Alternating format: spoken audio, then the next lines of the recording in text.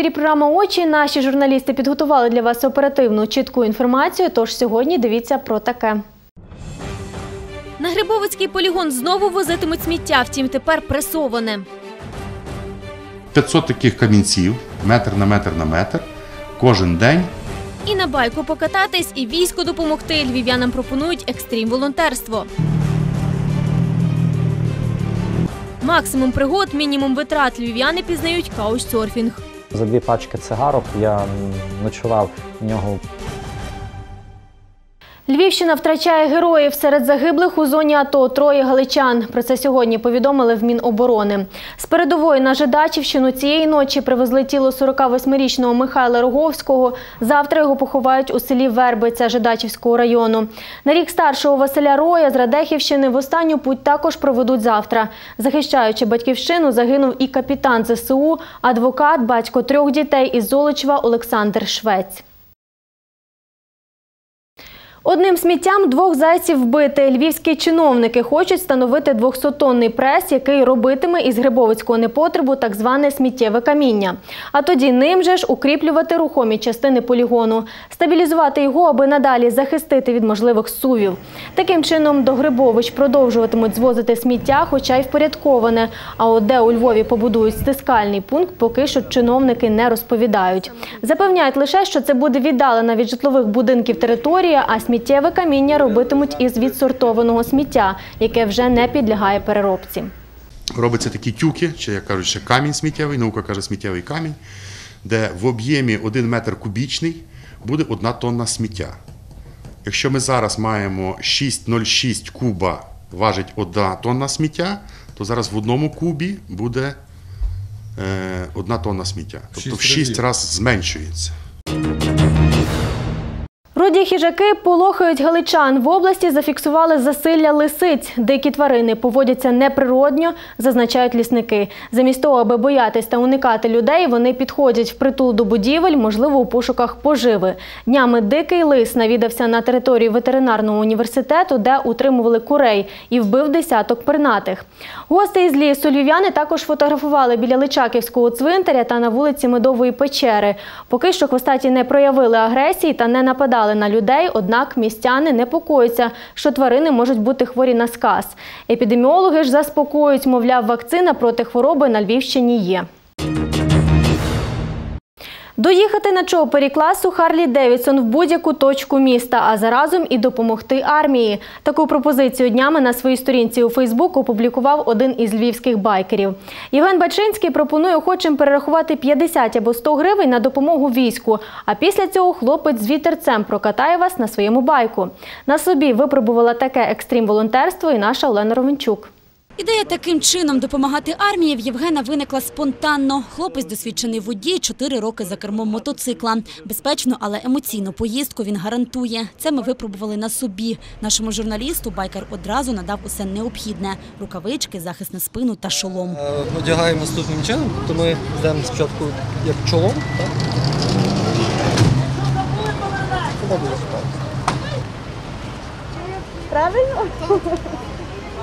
Здійснити благодійну поїздку на чопері класу Харлі Девідсон може будь-хто. Єдина вимога – пасажир має бути не важчим 90 кілограмів.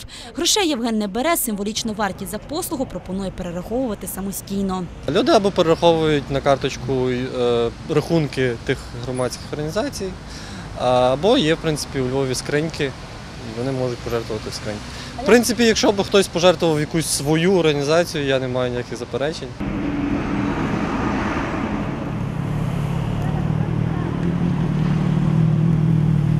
Поїздку існує три тарифи – місто і хайвей – це 50 і 100 гривень. Відповідно, є ще економ-клас, так званий студентський пакет. Їздиш безкоштовно, але 10 годин мусиш допомагати як волонтер. 13-річний Владислав давно мріє відчути себе в ролі байкера, тому аби здійснити давнє бажання, взявся допомагати благодійникам. Ну, у мене була мрія покататися на байкеру, я зробив добре діло і, може, волонтерам допоміг і покатати мене на байкера. Ну, я допомагав складати взуття, речі, форму, рукавиці.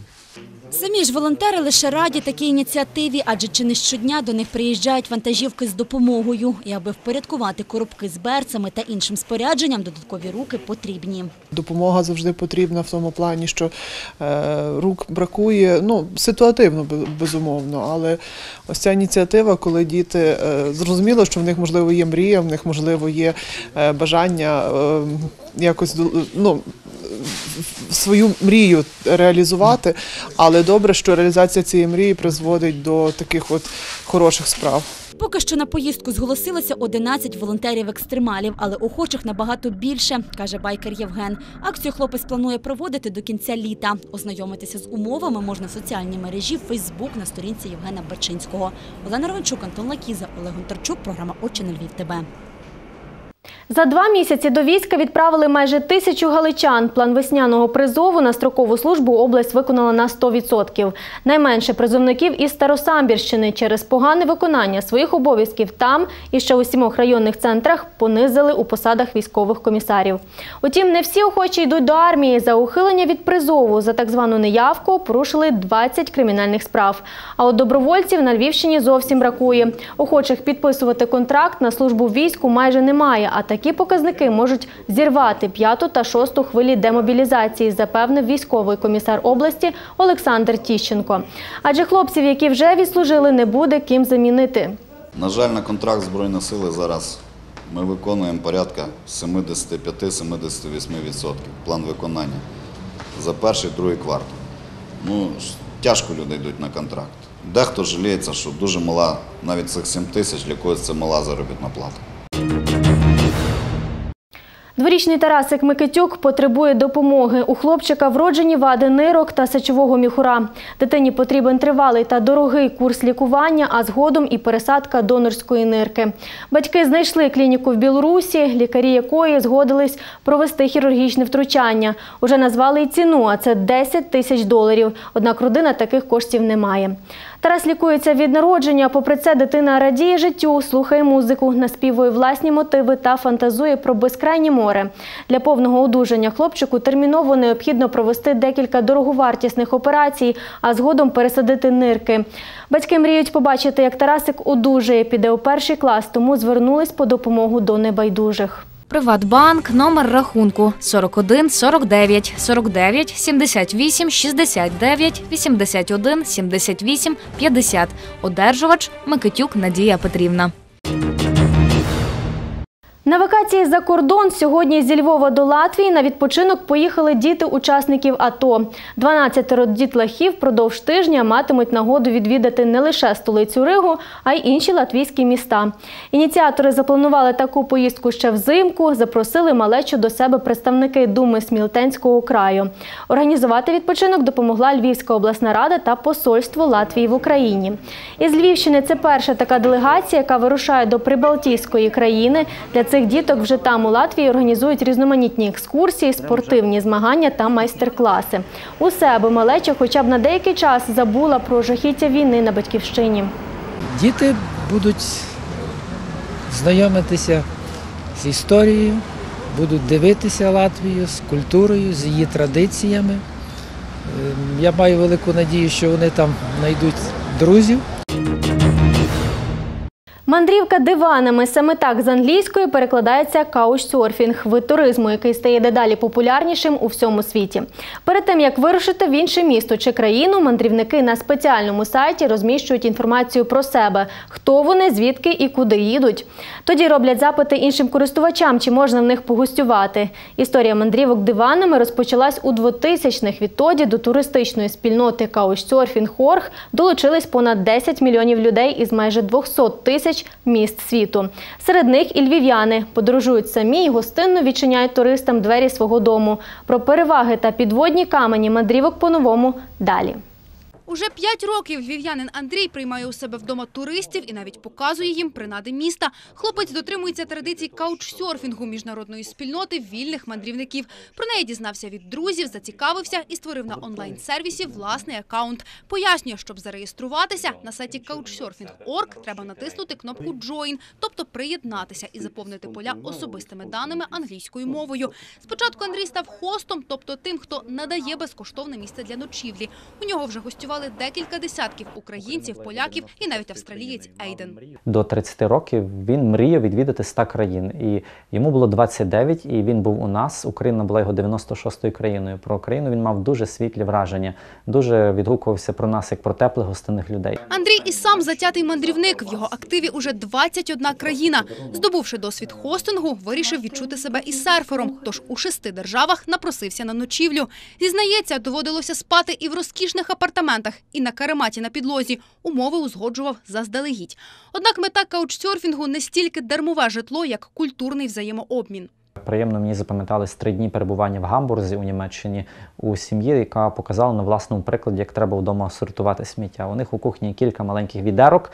Є відро для паперу, для скла, для пластику і для відходів з їжі. Я думаю, чому вони у своїй сім'ї можуть, а ми, українці, не можемо. Вподобала каучсерфінг і студентка Вікторія. По-новому дівчина уже тричі мандрувала Європою. Переконана, це чудова можливість відчути країну зсередини, вдосконалити знання іноземної, а ще знайти нових друзів. Це більга, яка мене брала в Відні. Це вона мене завела на морозиво, яке є там таке найсмачніше. А це ми в неї вдома. От а ми тут робимо вигляд, що читаємо. Оце так виглядало її. е, Це так виглядала її кімната. Ти не живеш в хостелі, та бо який там вийшов, погуляв і вернувся. Ти живеш в людей, які є е, корінь, ну, жителі того міста. Ти бачиш їхню культуру, ти бачиш, що вони харчуються, ти бачиш їхню ну таку кухню. Вікторія зізнається, каучсерфінг – це свого роду лотерея. Тож, аби вберегти себе, радить уважно читати відгуки про хостів від інших туристів та не гостювати надто довго. Головне це три фактори. Це перш за все а, подивитися, почитати всю інформацію, подивитися фотографії, хто ці люди, що вони є. Бажано з ними поспілкуватися. Ну і третє це надіятися на те, що тобі пощастить. Ніна Сукач, Олег Гонтарчук, Володимир Чопик. Програма «Очі» на Львів ТБ. Якщо ви готові стати героями наших сюжетів, маєте цікаві теми або ж просто потребуєте допомоги наших журналістів, звертайтесь на безкоштовну гарячу лінію телеканалу, яку ви зараз бачите на екрані. Дякую, що були з нами. На все добре.